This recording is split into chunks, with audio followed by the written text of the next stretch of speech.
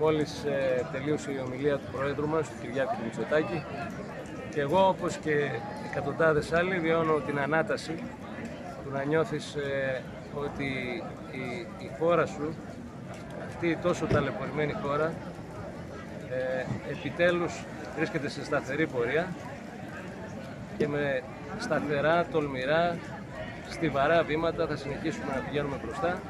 Θα πούμε όχι, όχι στην οπισθοδρόμηση, όχι στο λαϊκισμό. Ακούσαμε ένα, μια πληθώρα ε, πεπραγμένων της τελευταίας τετραετίας και έχουμε κάθε λόγο να πιστεύουμε ότι όλα αυτά που υπόθηκαν στα πλαίσια του προγράμματος της Νέας Δημοκρατίας θα γίνουν πράξη όπως γίνανε και εκείνα του 19.